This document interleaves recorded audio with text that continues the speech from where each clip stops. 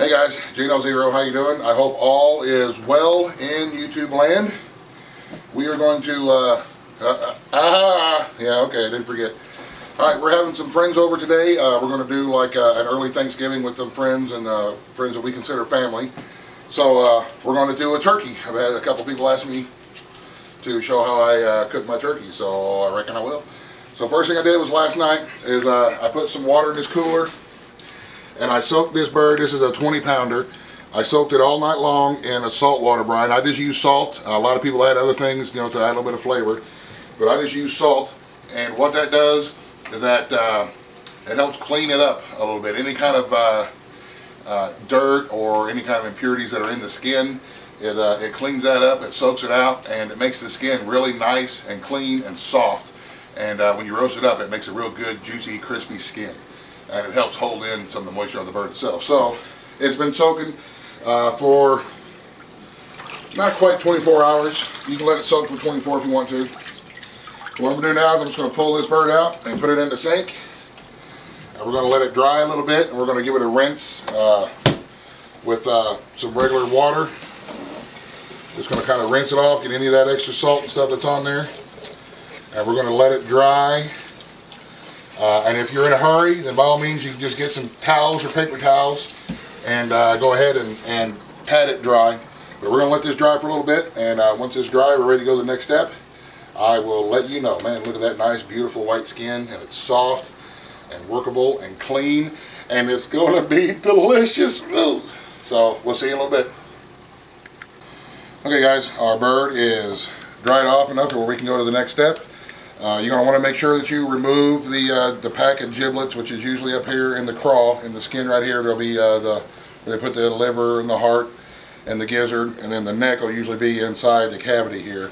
Um, so you want to remove those out of the bird because you want those to make gravy with, which will be another video. and now what we're going to do is I keep mine very, very simple. I don't, uh, a lot of people will stuff the bird, um, and that's okay if you want to stuff it. But me, and this is just my opinion, I'm not a turkeyologist or any of that kind of stuff, okay? This is just how I do mine. This is a big bird. It's a heavy bird. If you stuff it full, uh, it's going to add more mass to the bird, and it's going to take a long time to heat this up. More mass equals more time in the oven, which means it's more time for the bird to get dry, which is what I try to avoid. I like nice, juicy turkey.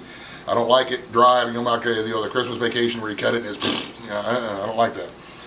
I like to keep it really, really simple on how I prepare the bird, and we make the dressing and everything else the, on, the, on the side, and the gravy on the side, and then we, uh, we, we do it that way. So if you stuff your bird, just remember that's a lot more mass that, uh, that the heat has got to penetrate uh, in order to get everything cooked thoroughly and cooked through, and that's going to be more time that your turkey is going to be in the oven drying out. So just my opinion, just me, just a dude, okay, cooking a turkey. So here we go.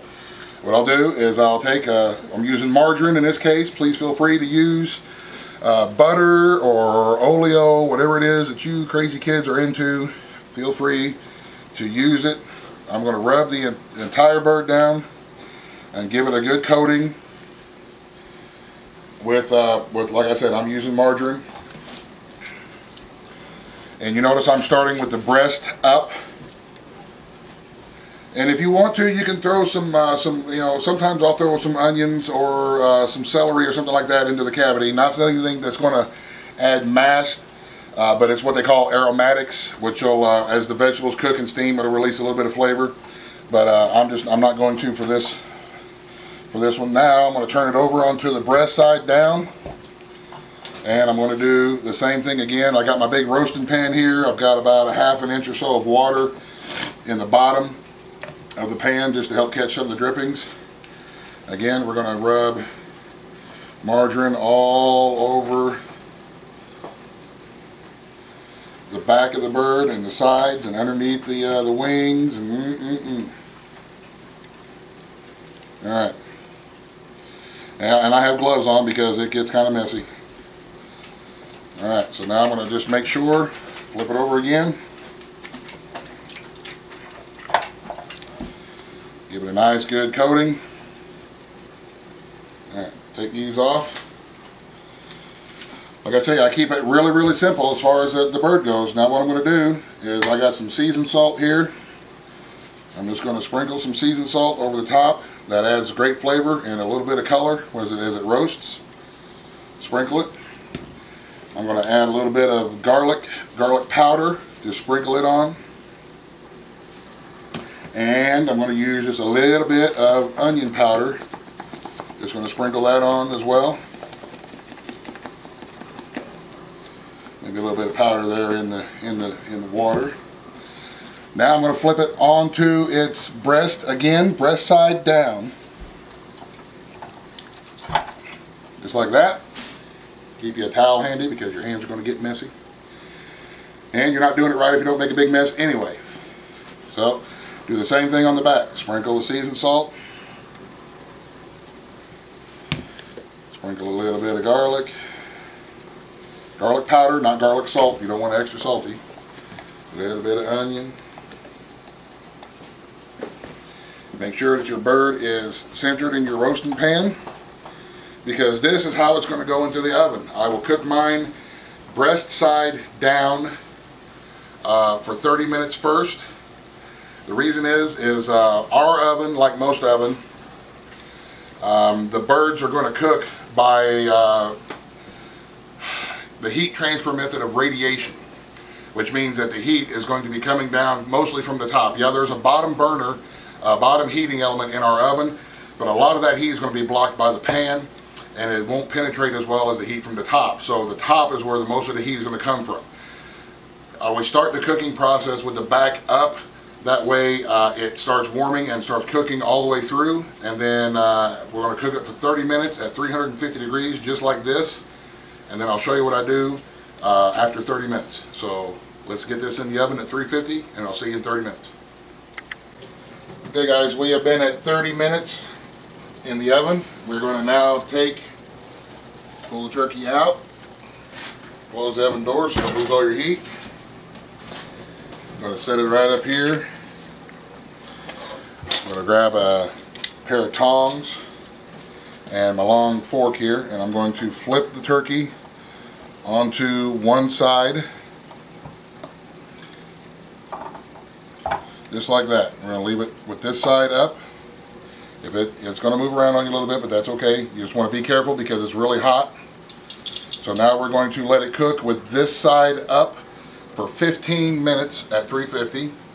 Um, and like I say, what that's going to do is going to distribute all the heat evenly throughout the bird and let it cook evenly and it's going to cook quicker uh, when you're doing it this way. So we're going to cook it now. We're going to put it back into the oven at 350 with this side up for 15 minutes. Like I said, need to be real careful.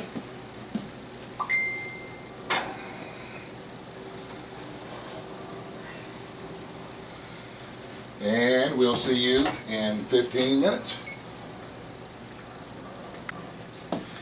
Alrighty, we were at 15 minutes. We're going to pull the bird out very carefully. set it back up here. We're going to do the same thing again. We're going to use our tongs and our fork and we're going to flip it. Actually, I'm going to use it this way. We're going to flip the bird now all the way over onto the other side.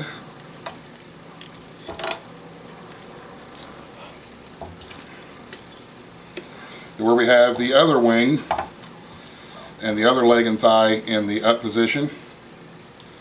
And we're going to stabilize it a little bit.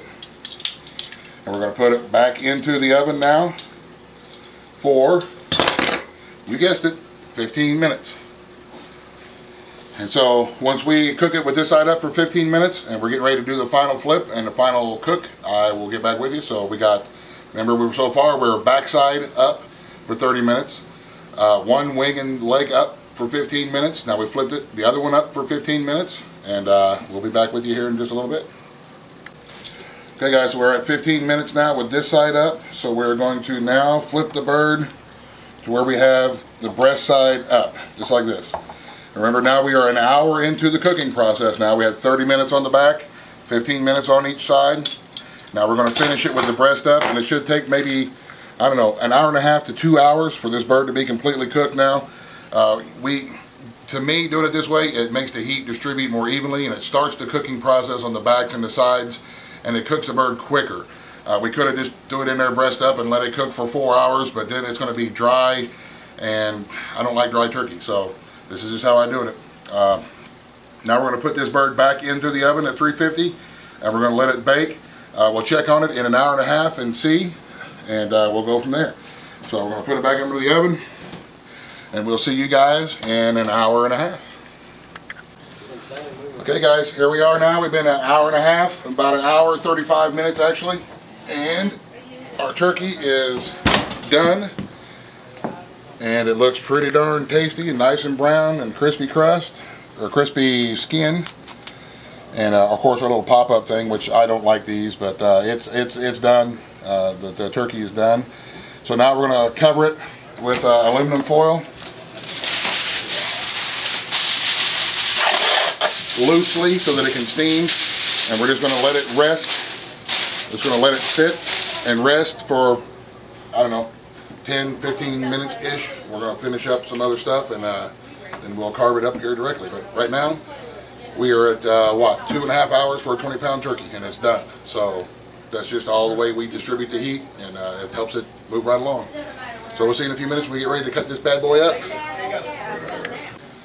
Okay guys, here we go. We got our bird up here. We're going to start uh, taking it apart. What I do first is I remove the leg. Just find your joint, really easy to do.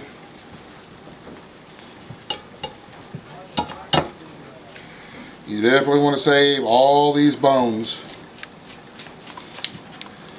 for soups and stews and all kinds of goodies that you can make. Now we're going to remove this piece of the wing. Like I say, just all this part right here is just a matter of finding your joints and making your cut.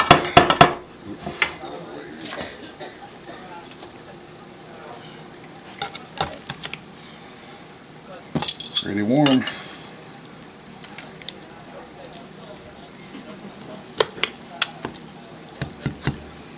Helps to have a sharp knife as well. There's our thigh. Now, when I go to do the breast, I'm going to do the side of the breast like this, I'll make my first cut right down here at the bottom of the breast, and I'll go in just like this. I'll get a better position on here. Turn around here so you can see.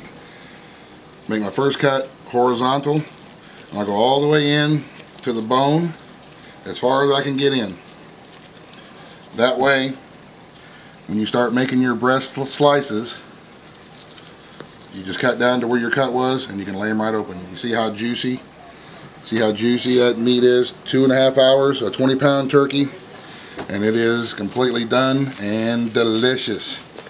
So there you go. Now you can just fillet them right on out. Cut your breast slices. And you are ready to put them on a plate and serve them.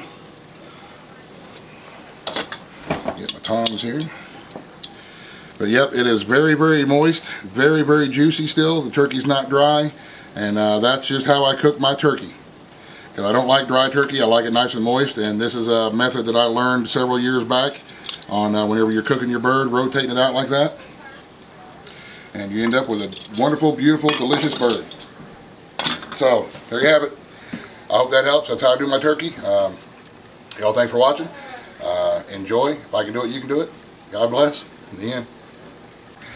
Okay, guys, not the end. I guess we'll show you uh, the spread that we threw down for this Thanksgiving. Um, we got here, we got, of course, we got the turkey, and we've got uh, Moving On 04's uh, world famous cornbread dressing. We got some ham. This is the uh, giblet gravy. We got our homemade uh, dinner rolls. That is a pea salad that Cheryl on the Hill made. We got loaded mashed potatoes. That's just mashed potatoes that has been baked with uh, a little bit of extra cream, some cheese, and uh, bacon on top. And I always put a little bit of sour cream on top of mine. Sweet corn. This is uh, these aren't sweet potatoes. These are just like the Cushaw squashes and some butternut squash that we candied and made like this, uh, which is awesome, by the way. And then we got our dessert table over here. We got, of course, a couple of pumpkin pies. It's got a layer of cheesecake underneath it. We've got pumpkin rolls that our neighbor Haley made, which uh, I'm pretty sure they're poisonous, but we'll eat them anyway. I'm just saying. Uh, we've got a peach cobbler. We've got some Kool-Aid pies that uh, Sunshine, uh, moving on 04's daughter made and brought.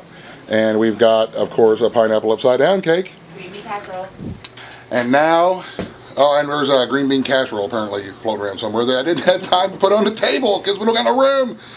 So it's time to eat. Uh, wish everybody a very happy Thanksgiving. God bless. Uh, once I finish up this video, we're going to eat, and I'll be in a food coma for probably two days at least. So we'll see if there's any more videos to come shortly. So you guys, thanks for watching. In the end, again,